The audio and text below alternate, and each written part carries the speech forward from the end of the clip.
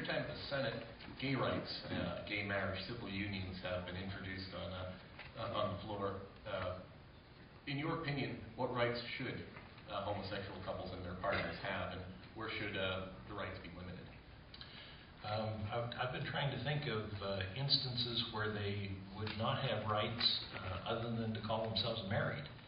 Um, I, I think there are legal documents that can be done to cover any of the any of the circumstances outside of that.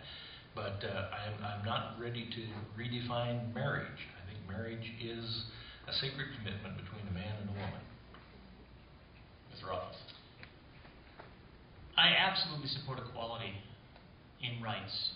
Anything the federal government does that is for a heterosexual couple must be done exactly the same for a gay couple. If the federal government wants to define marriage, it must do it in support of gay and heterosexual couples in the same way. If the federal government doesn't want to get into that, if they want to use the word civil union, then they need to call what the relationship between Heather and I a civil union. It just needs to be the same. Mike doesn't have to support gay marriage under my system. I totally respect and support his right to hold a belief where he, Mike Enzi, believes that a marriage can only be between a man and a woman.